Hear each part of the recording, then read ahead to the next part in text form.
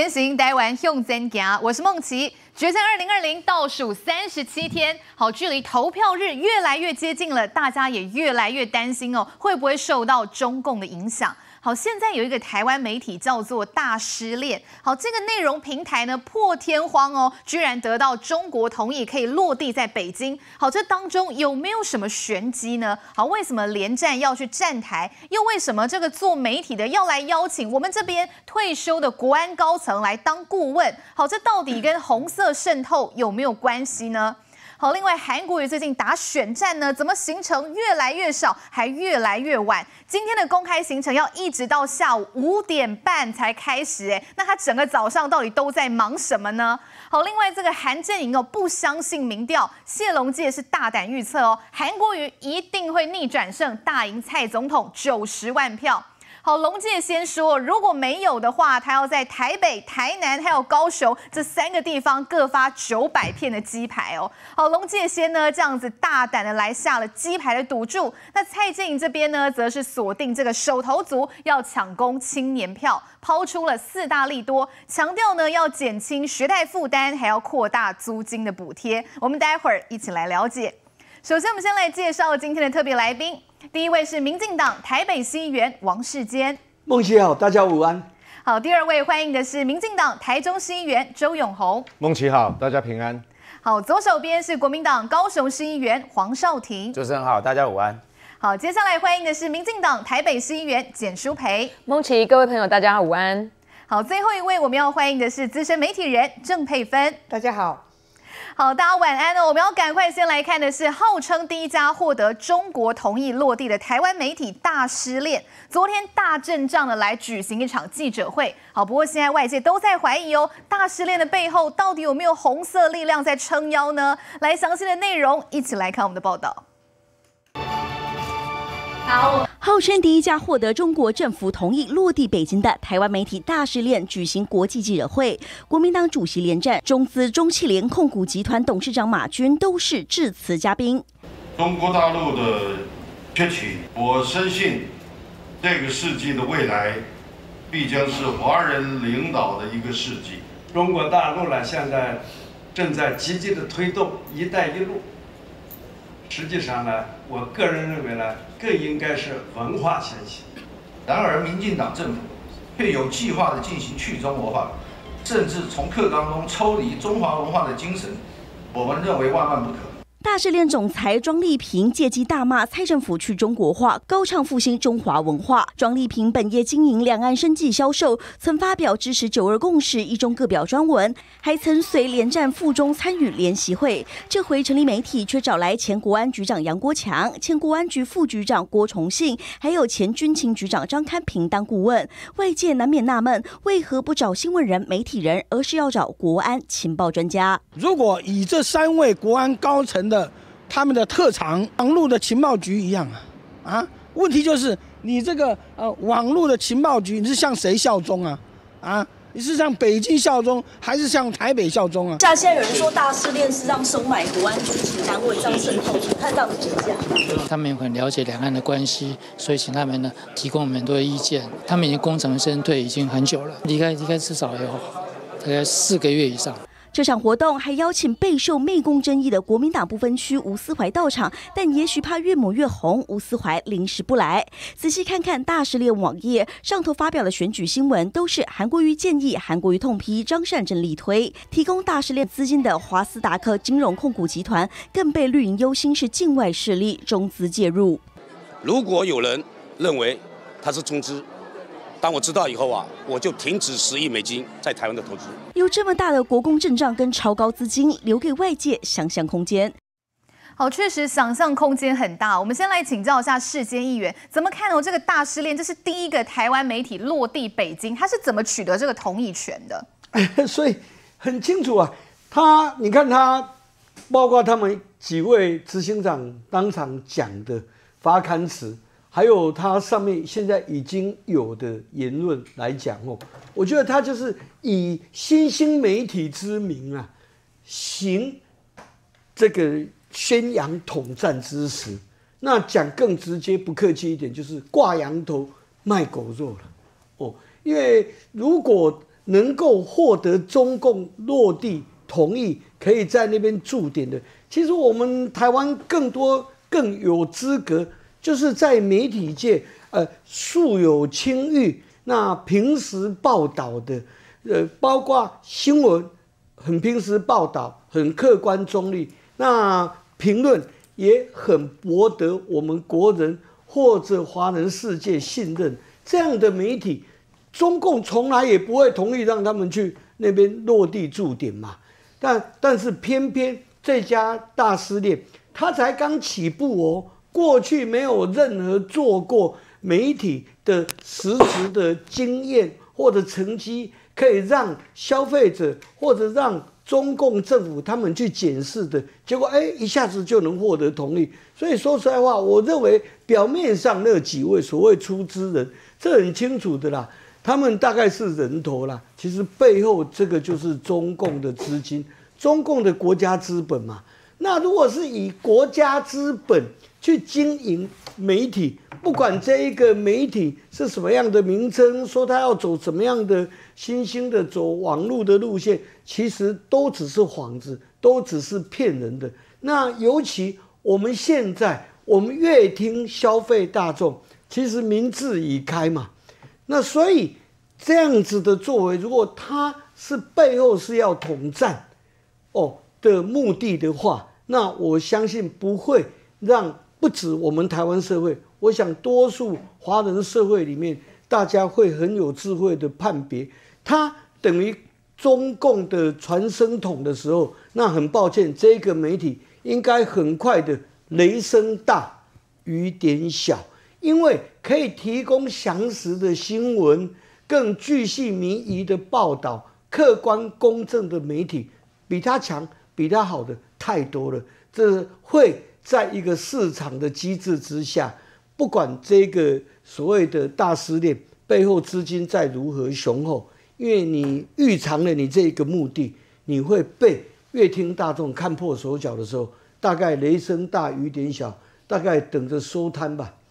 好，刚才世界员点出这个大失恋会不会就是中国的传声筒呢？这个部分我们要继续来请教永红的时候，因为刚才我们新闻报道是昨天大失恋的记者会，那我们来看到呢，我们后面这张图卡，这是被翻出了今年四月大失恋在举行上线典礼的时候，我们看到谁来帮忙站台？连战、连胜文，好，这对父子来帮忙站台。好，国民党的立委曾明宗也都出席站台，所以这看起来这关系不错吧，议员？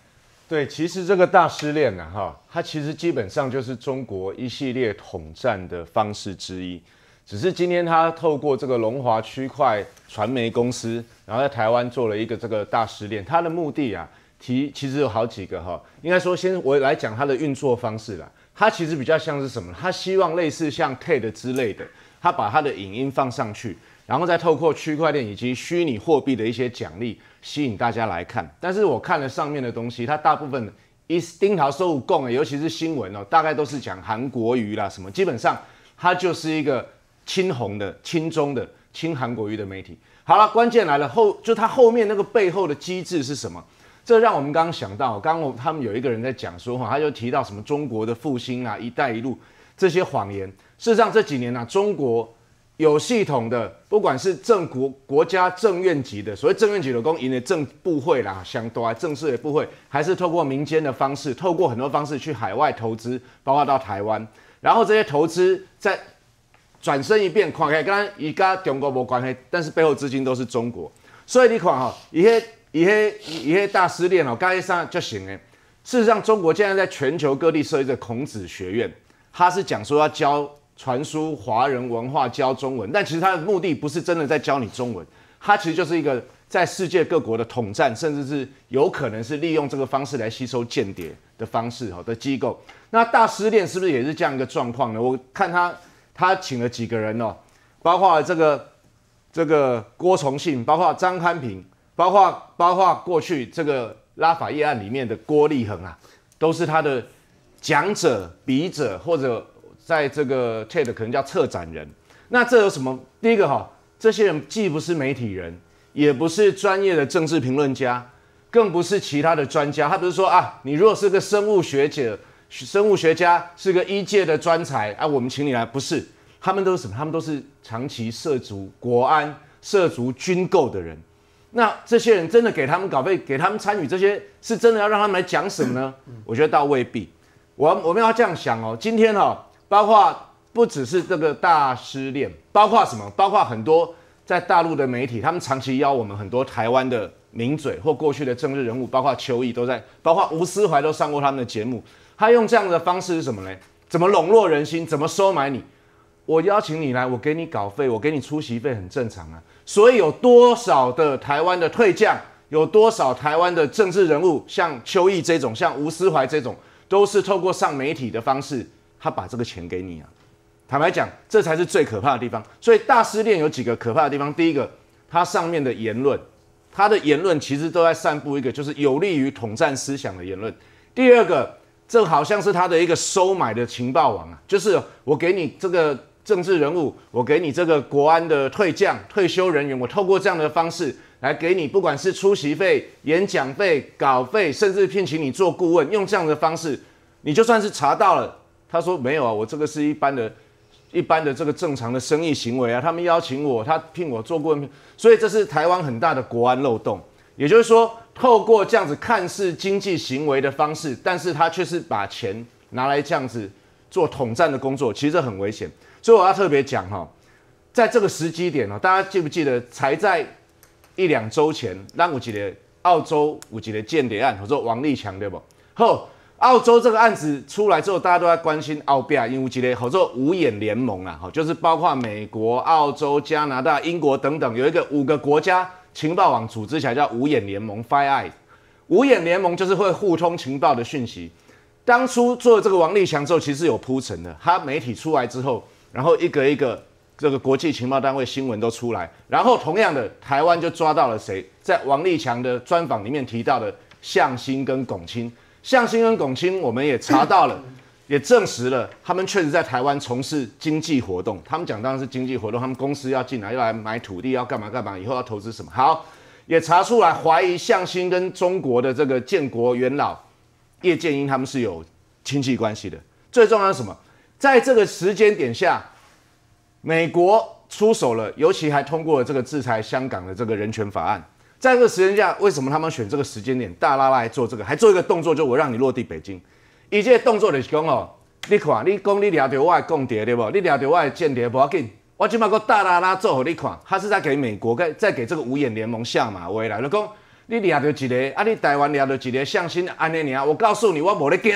我他这个真的像嘛？我就是大喇喇告诉让你知道，说我还有很多方法跟手段。金马林收尾，包括国安人员，包括一警的立委，包括一警的退将，我都会用这个方式，我来收买他。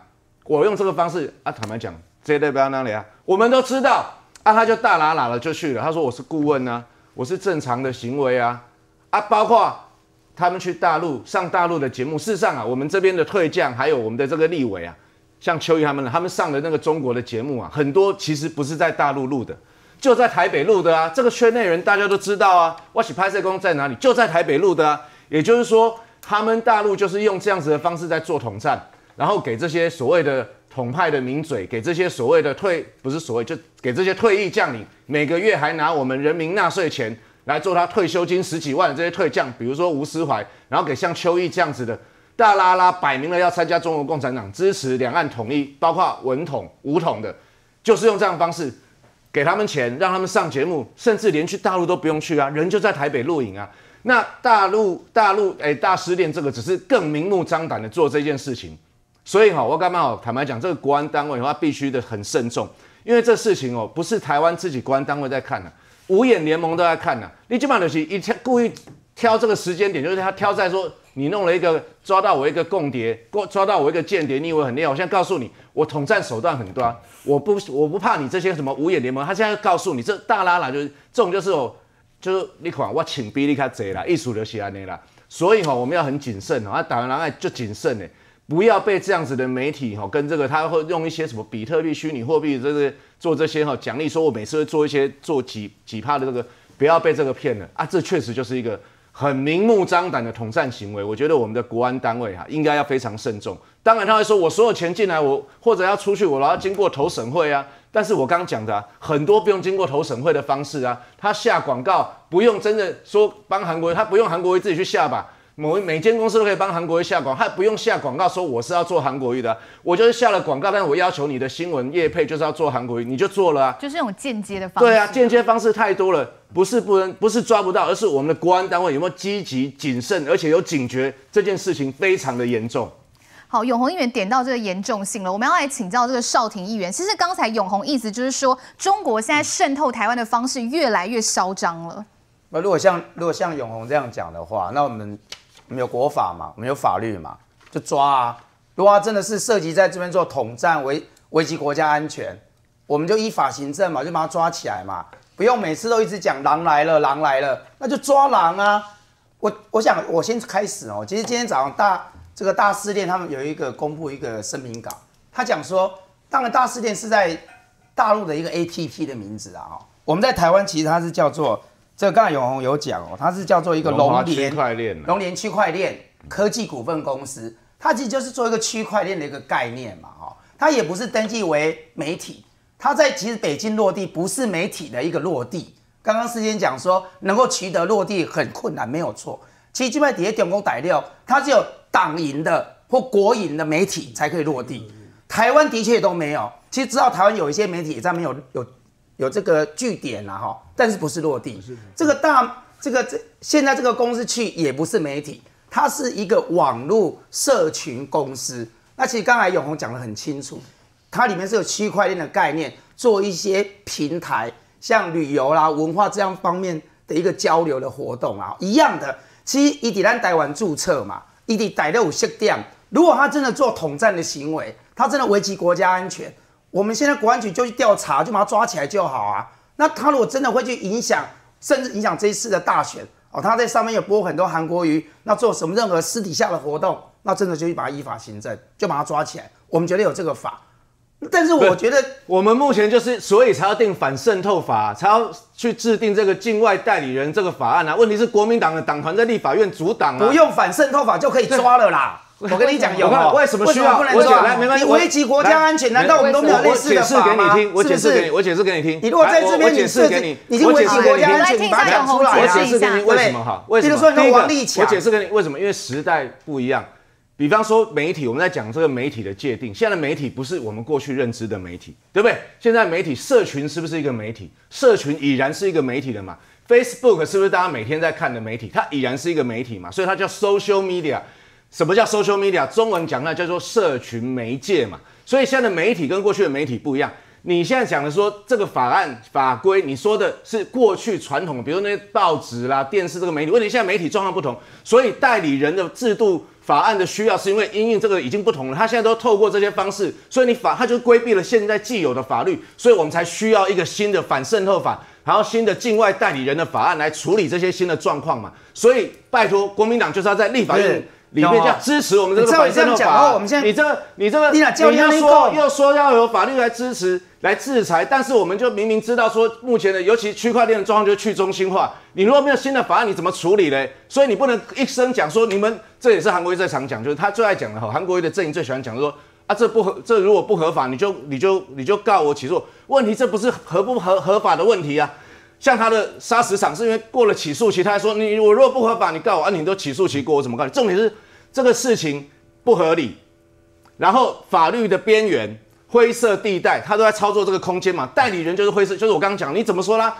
我们知道邱毅，我们知道吴思怀去上了他们的节目。拿了他们的出席费有没有？你说他这个，你说他这个如果不合法，把他抓起来，这当我当然没有不合法。他说我就是正常的行为啊，商业行为，我去出席。问题是你是去出席统派，你是出席中国媒体，然后你是去讲说要武统台湾的话，那这个就是你在做人家的代理人嘛，所以我们才需要代理人的法案来处理他们嘛。哎，梦琪，我简单回应就好了。如果说没有反渗透法，现在就没有办法顾及国家台湾的国家安全的话。那台湾现在等于是开门嘛，所以你现在我觉得我们现行的台湾的法律怎么没有办法去规范说哪一个是危及国家安全，哪一个是属于在做红统的事情呢？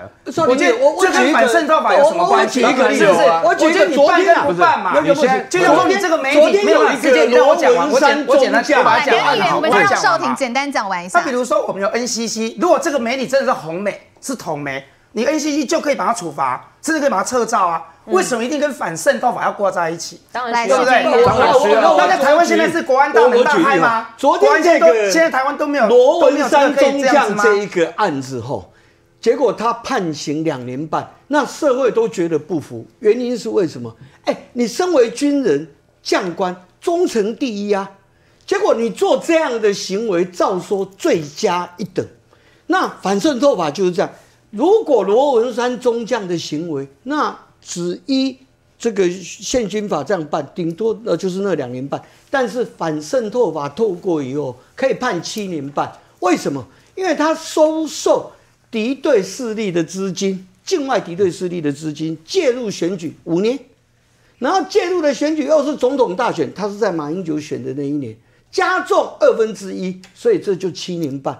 要以重刑、速审速决的重刑，才有办法喝主这样的行径。来，议员讲到这个退账问题，我们要请教舒培议员的是，其实刚才听到少廷议员他也讲到一个重点，他说大家不要以为大失恋是新闻平台，它内容里面很广，它也包括旅游还有其他文化各个方面。那大家都觉得很奇怪啊，你既然范围这么广，那怎么会跟我们的退休国安高层有问题？你为什么不找一些媒体人，要找国安高层来当顾问？没有错啊，因为他现在所有收集的这个邀请的人，全部都是我们主要的一个退将嘛，包含我们国安局的前局长杨国强，包含前副局长我们郭崇信，还有包含我们军群军群局的前局长张康张康平，就让人家觉得很奇怪，就是说，如果你真的是一个哦新兴的媒体，你要做所谓的华人世界的这些新闻的话，那你应该要广邀所有的人才，而且应该要包含所有华人世界的所有精英人才都被邀请。为什么你只只有要求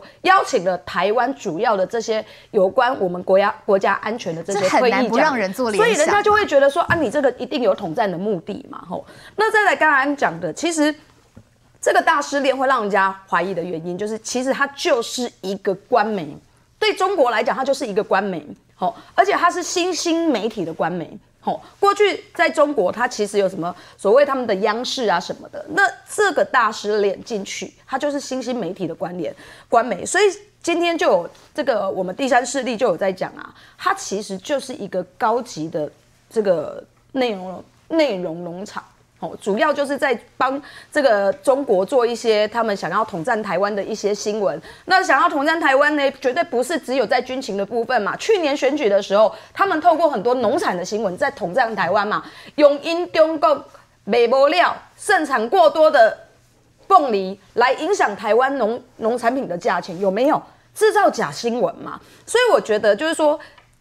中国就是一个独裁国家，在独裁国家，你可以去设立有关这种呃制造媒体、制造讯息能够影响社会的，如果没有国家的认同，你别想了，你一下就被抓起来了。他们连那个法轮功只是比较多人而已，就已经被他们禁止到一直追杀了，更何况是这种会有。对于社会有影响的这种大的大型的新兴媒体，如果没有国家的认同，不可能去设。那不可能国家，那我们为什么这个大失恋，我们这个庄丽萍要去设？它到底它的用意是什么？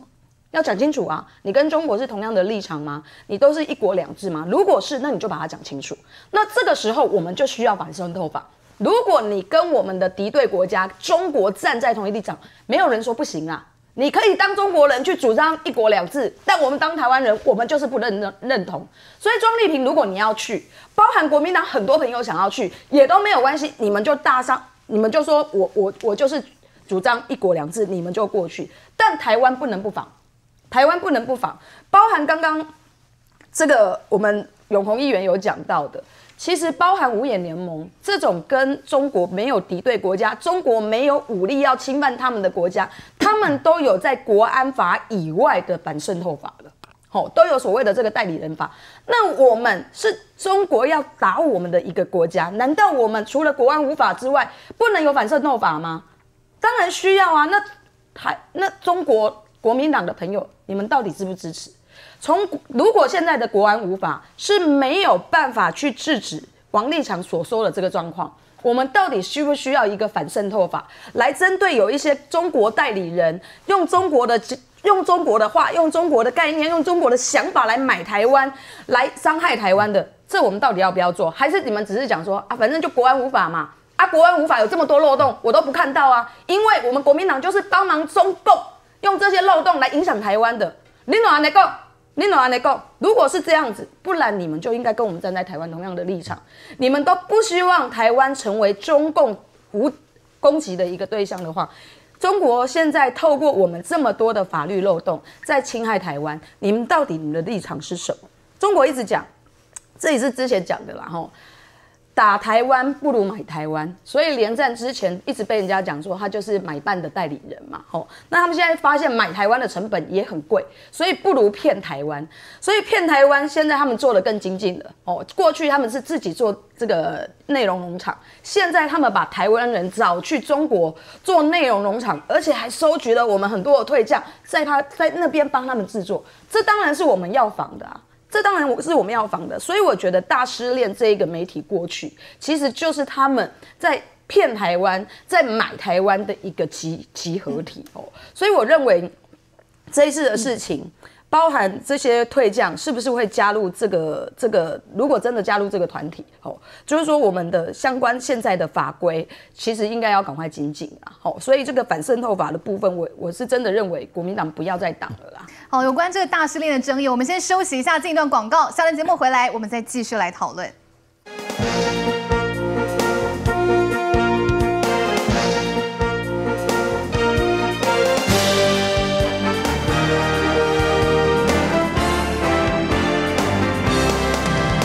回到节目现场，大失恋昨天这样大阵仗举办记者会，到底为什么连战要去帮忙站台又上台致辞呢？到底他们之间有什么关联？这真的要好好请教佩芬姐了。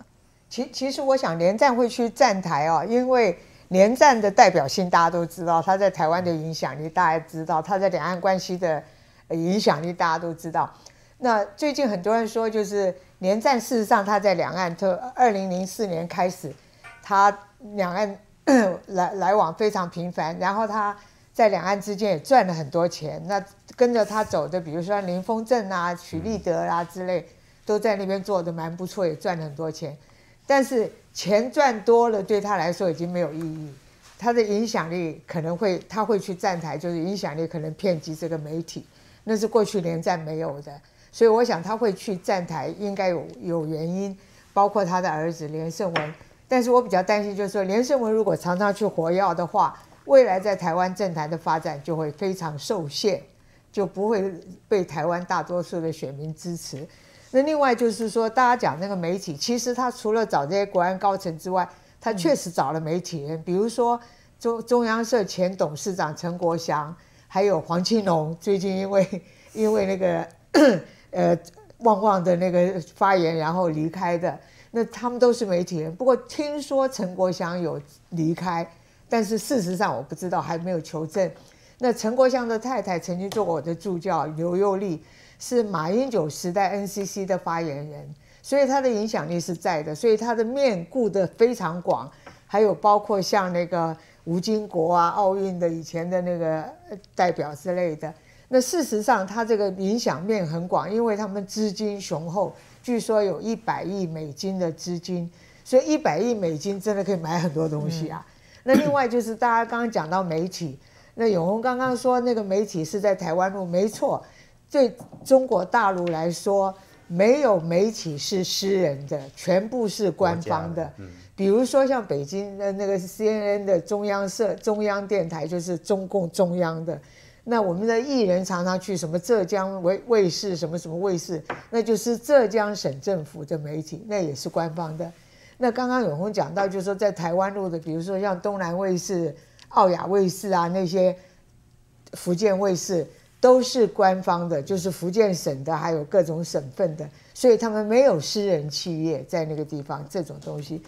那这些人去上那个媒体的好处就是，第一个它很方便嘛，就在台湾录。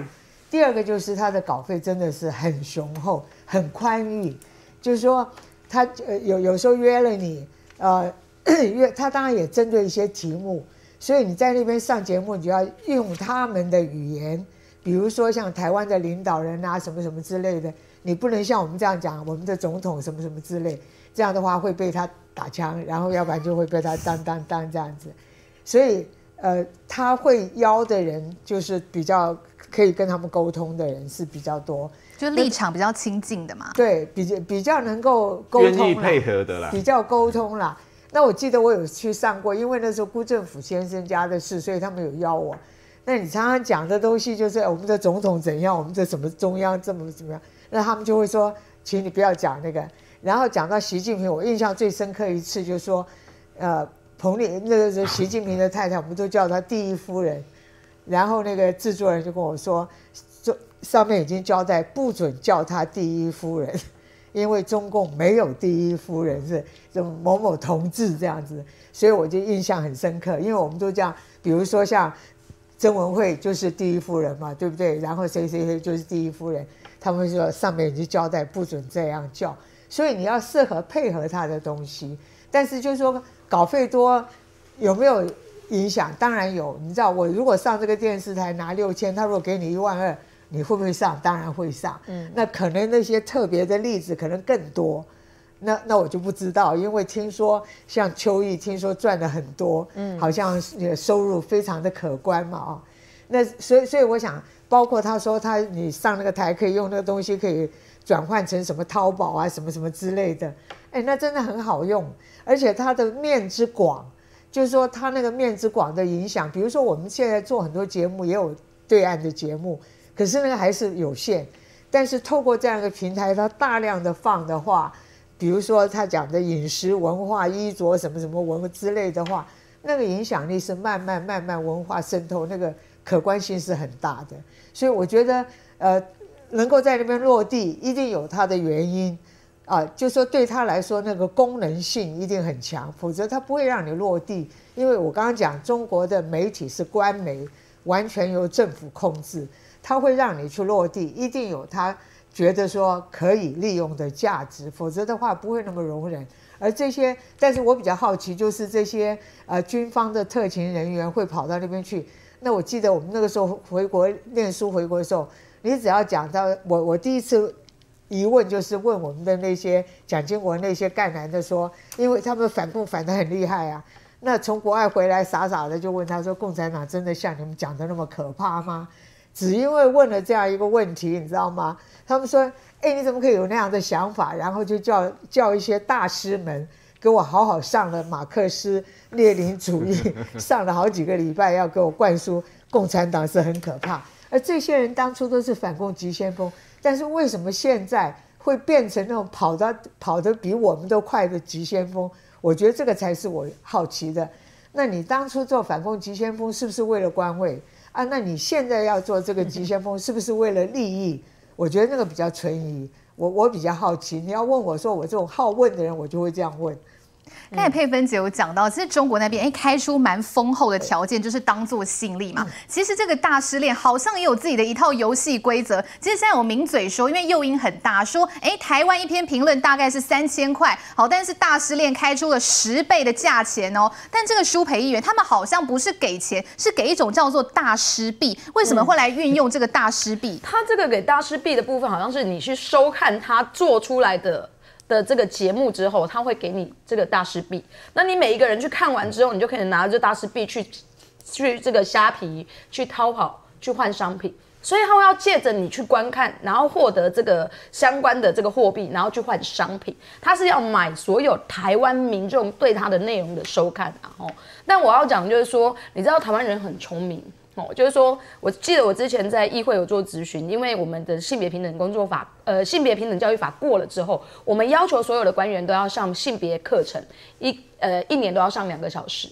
我就有抓到有官员，他就叫他的助理把它播放出来，然后两个小时到，他就赚到那个两个小时。但我问他说，你有没有这个这个会期，今年你有没有看过？他自己举手说他没有。哦，所以我要讲的是说，台湾人很聪明。他虽然你你可能点阅率到了，但你的内容不是他想要看的，也许他只是为了去赚币、去点阅你，但到底效果到了没？我觉得，呃，中国不要把台湾人民当笨蛋。哦，就是说，如果你的内容跟我们的实际生活相去甚远，我不相信你可以借由这样子的方式在洗脑。但我比较害怕的就是说，他真的不是只是想要洗我们脑而已，他是想要用讯息来让我们很多的错乱。就是像我刚刚讲的，去年十一月二十四号的选举，我们收到很多中国内容农场来假换的讯息哦，比如说，呃，像。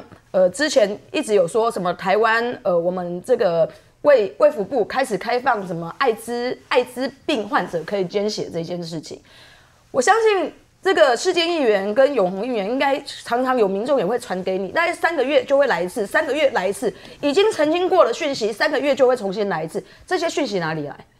都是跟中国的内容农场有关。那现在的这个大师脸，他到中国去，他是不是就要配合中国的这些官媒，做一些似是而非、真假不分，可能有七分真三分假的讯息，来扰乱台湾？这才是我们真的要担心的。而且我们中，我们变成我们的政府，必须要花很多的时间，花很多的体精神，才能够把这些错误的讯息，这个拨拨乱反正。那我觉得这绝对不是好的事情啊。那我刚刚讲的吼，拨乱反正是中国国民党的好朋友最喜欢用的字，四个字，因为他们很喜欢用拨拨乱反正，很多他们的候选人在他们的看板上面都会有。哎，我觉得这就是真的要拨乱反正，这种似是而非，从中国讯息农场来的假新闻，这样子在影响台湾。然后我们目前的国安无法，如果有很多的漏洞，没有办法去制止他们，我们来制个制定的。反渗透法来制来遏制这样子的状况，难道不好吗？我觉得国民党真的吼要这个迷途知返啊！来，邵庭议员简单回应一下。我我想所谓什么这个讯息农场或内容农场，从去年选举我们都参与去年九合一选举到现在为止哈，民进党也一直在讲说有很多大陆大陆的一些假讯息进来影响选举。其实恭恭喜在回来，这这两天我看到一个具体有被证实的，反而是杨慧茹。好，杨慧茹她的网军，然后有一些散布一些假讯息，弄一些风向，这还是被剪掉所认证的。那当然，我并不是说我们不要去 care 中共对我们任何所有的统战或任何不是，而是我讲过了，台湾是一个主权独立的国家，我们有我们自己的法令，我们该怎么办就怎么办。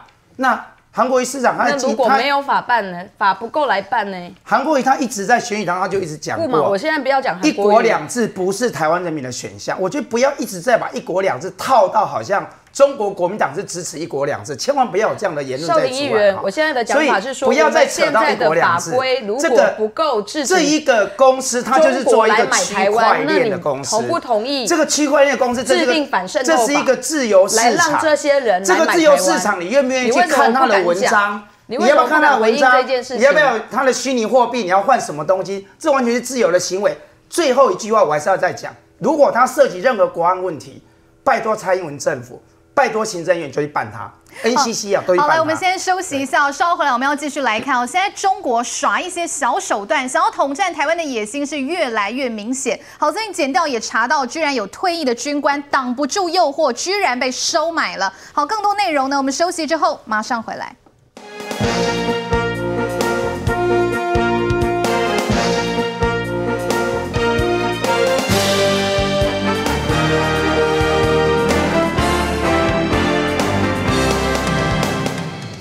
专家的关注迄个事关，去看今仔日台湾汉民族的社会。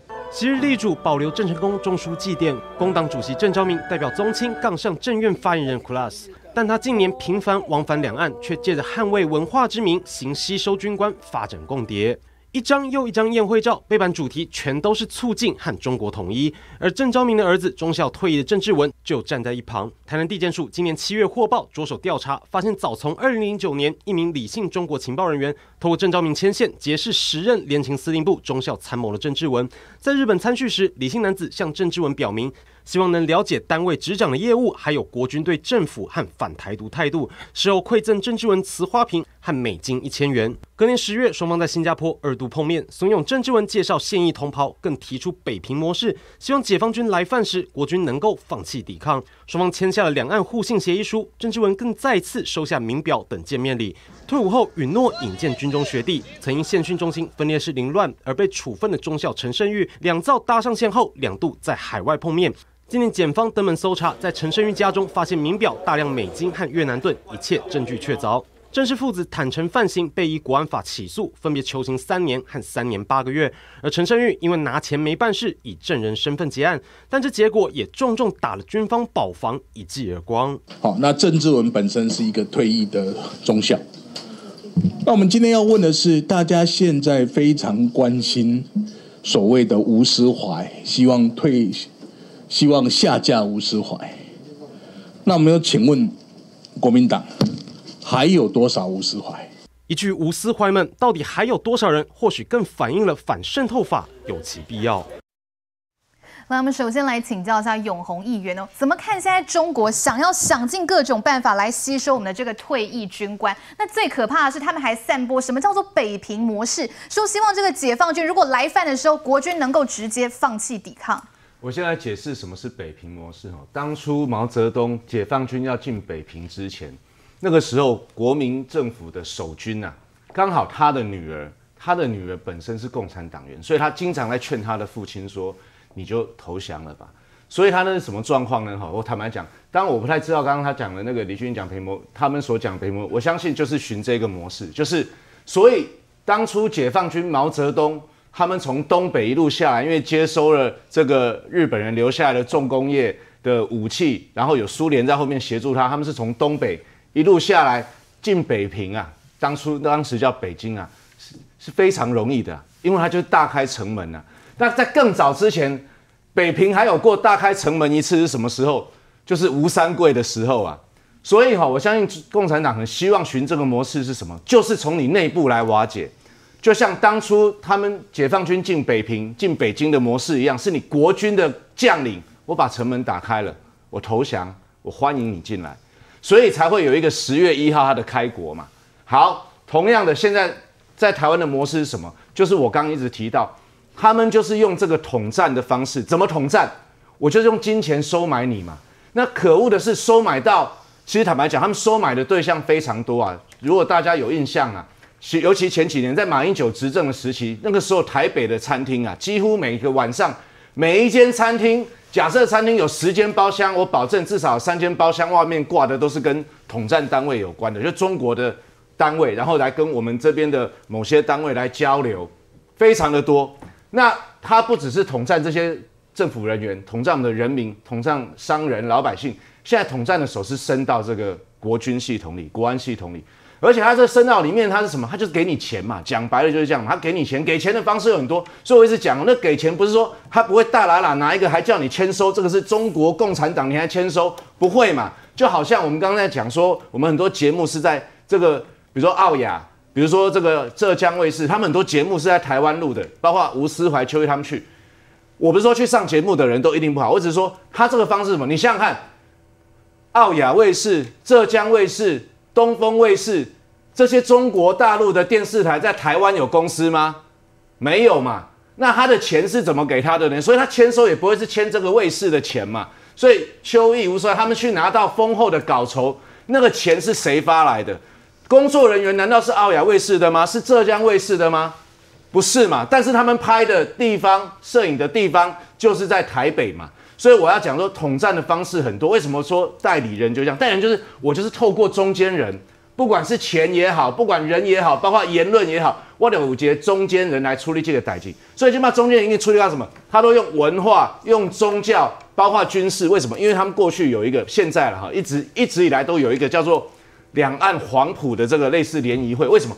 因为共产党也是从黄埔军校出来，所以很早他们就有一个两岸黄埔这个联谊会。这联谊会也变成是一个统战的工具啊！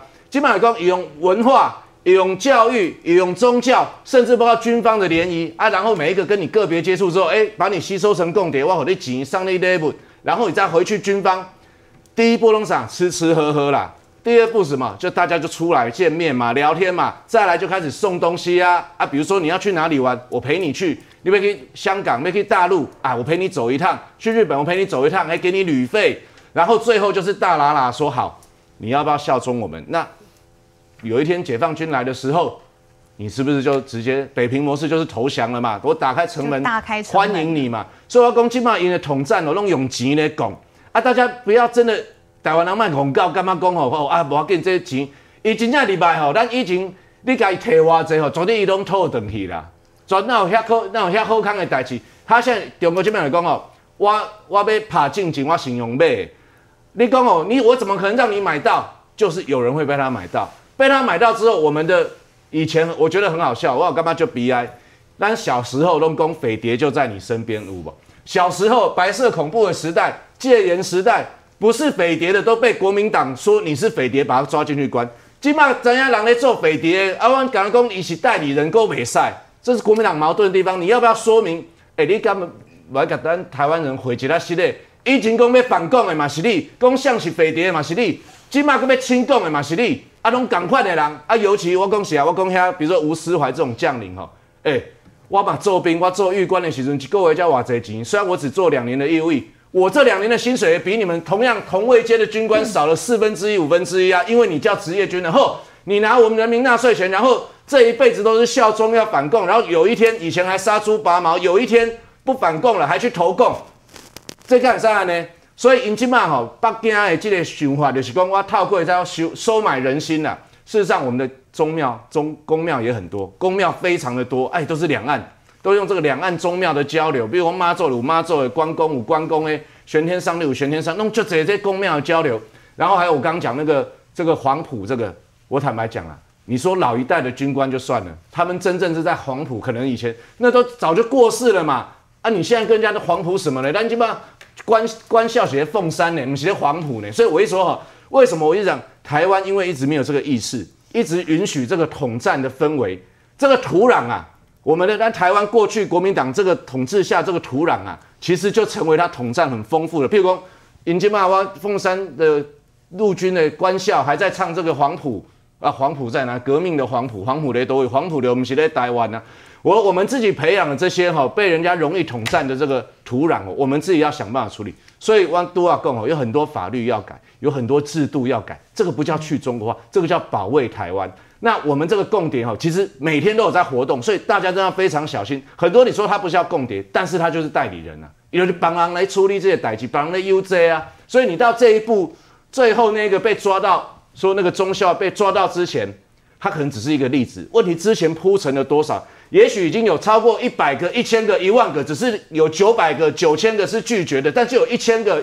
一百个这种要帮人家开门，把台湾大门打开的这块没有那。更糟糕是，这种人在国民党的不分区名单里耶，吴思怀就是一个啊。如果不是因为过了一个法案说退将去中国，退将在宣誓对中国效忠，会违反台湾利益的，要取消他的退休俸的话，你看吴思怀会不会道歉？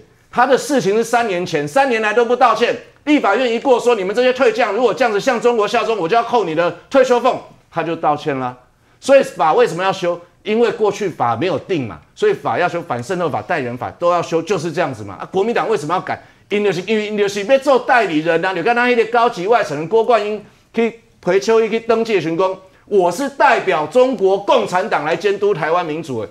我恭喜在这这种话可以大拉拉的讲，中国是要统战我们，大拉拉讲就是我们无法可治他嘛。所以咱转对外派的公民动脉个动啊，真的真的不要再挡。好好，如果真的是为台湾好，为台湾的国家安全好，我们赶快来建立一个能够有效防卫台湾的这个制度跟法案。好，刚才永红一直讲哦，这个中国呢，现在就是想要用收买人心啊，不知道会不会影响到我们明年二零二零的选举哦。我们先稍微休息一下，广告回来我们要来看的就是韩国瑜这位总统候选人，怎么他最近的行程感觉变少又变晚了？好，昨天韩国瑜唯一的公开行程哦，只有下午啦，到嘉义去煮饭开直播。那他今天也要一直到下午五点半哦，哎，大家观众朋友可能都下班了才有公开的行程。好，这到底是怎么回事呢？来，下段节目回来，我们一起来 Kent.